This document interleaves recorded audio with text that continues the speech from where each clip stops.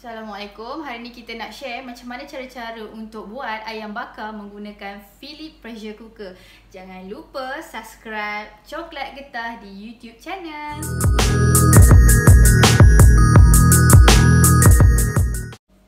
Okey, ni adalah ayam yang saya dah perapkan selama 2 jam lebih. Okey, dan kita tutup uh, dengan tepung ni kita simpankan di dalam bahagian chill di dalam peti ais. Okey, apa yang kita nak buat adalah kita nak uh, masak dalam Philips pressure cooker ni. Kenapa? Uh, Philips pressure cooker ni akan memasak ayam ni dengan secara tak langsung ia akan juga menjaga kelembapan ayam tu supaya ayam tu sentiasa moist dengan juicy lah.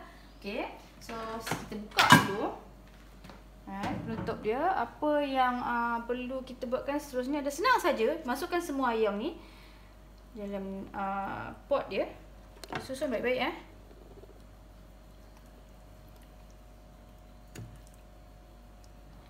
Susun cantik-cantik. Tak apa, biar dia Uh, dia dia masak okey nampak tak lebihan ni kuah ni tuangkan je supaya jus-jus ni masuk dalam ayam tadi dan dia boleh masak bersama ayam tadi. Okey jadi lepas kita dah masukkan ayam ni dengan segala bahan perapan tadi, uh, ayam ni kita tadi kita potongkan kepada empat bahagian ya. Kalau tuan-tuan dan puan-puan nak masukkan seekor sekalipun boleh. Okey so apa yang kita perlu buat? Kita tutupkan dia. Okey tutupkan dia dan kita pusingkan uh, bahagian kepada bahagian seal ya. Okey. Kita pusingkan kepada seal supaya dia tak lepaskan wap dia untuk dia uh, masak dan isi ayam tu lebih lembut and then kita onkan plug dia. Okey dan dia akan keluar macam ni.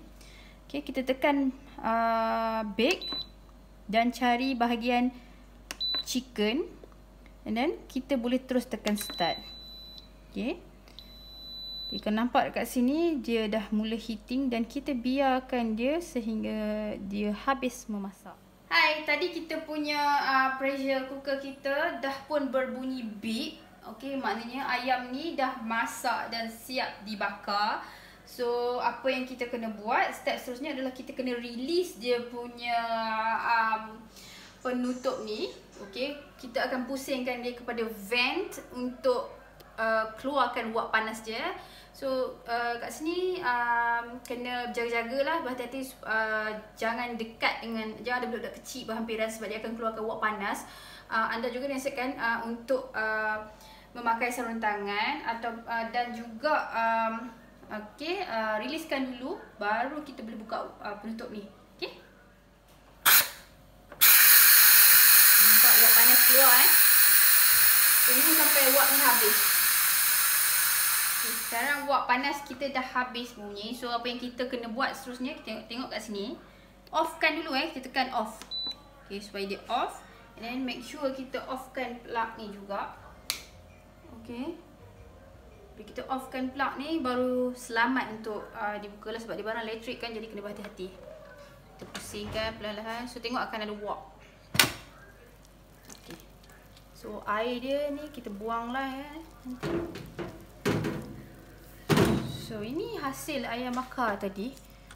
Okay, nampak dia akan Okay, uh, tuan-tuan perempuan. So kalau tengok kat dalam ni, ini hasil daripada uh, ayam yang kita guna big mode tadi. Okay, kalau nampak kat sini ada kuah sekali ya. Sebab bila kita guna pressure cooker, kelembapan daripada ayam tu sendiri keluar. Ya, bukan air yang kita tambah tapi ayam tu sendiri mengeluarkan uh, kelembapannya. Itu air. Okay, ini hasil uh, ayam yang kita bakar dalam pressure cooker tadi. Okey, uh, kita susun dulu. Okey.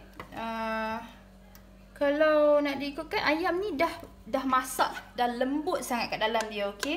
Uh, sebenarnya siapa yang tak suka uh, ayam tu uh, dibakar dan rasa kering, boleh terus makan je. Dia akan lembut, moist. Tapi pada saya, uh, saya nak ayam tu dirasa nampak macam ayam bakar betul-betul lah. Seolah-olah dibakar atas uh, grill apa yang saya nak kena buat adalah saya akan keluarkan je saya nak letak dalam oven uh, dan dibakar sekejap je dalam 15 hingga 20 minit suhu 200 darjah Celsius api atas bawah untuk mendapatkan ayam yang uh, crispy dan dia kering sikit lah okay. uh, air di dalam uh, pot ni kita boleh gunakan untuk buat uh, marinate dia lah. Uh, okay. Dan juga kita boleh gunakan untuk buat uh, bahan-bahan asas dia jadi macam stok. Okay, kita masukkan dalam oven ya. Uh, oven ni dia preheat sekejap je. Hmm, tak perlu lama sangat. Dan kita uh, just pusingkan suhu 200 darjah Celsius uh, dan saya buat sa timer dia uh, 15 minit je. Okey, tuan-tuan puan-puan, ayam kita yang dibakar tadi dah masak. Okey, uh, kalau dapat lihat inilah hasil daripada ayam yang kita bakar tadi. Okey, tengok warna dia pun cantik. Uh, lembut lah isinya lembut moist. Okey jadi kita boleh uh, susunlah ayam kita. Okey. Untuk uh, santapan uh, sekeluarga. Okey. Okay, ini adalah hasil uh, masakan ayam bakar uh, menggunakan Philip pressure cooker dari uh, kami, Coklat Getah. Okay, uh, jika tuan-tuan dan puan-puan nak menghasilkan atau masak uh, ayam bakar, okay, kita boleh perap atau marinate dengan cara tuan-tuan puan-puan sendiri. Resepi Tok Nenek pun boleh. Okay, uh, jangan lupa subscribe kami uh, di channel Coklat Getah. Bye!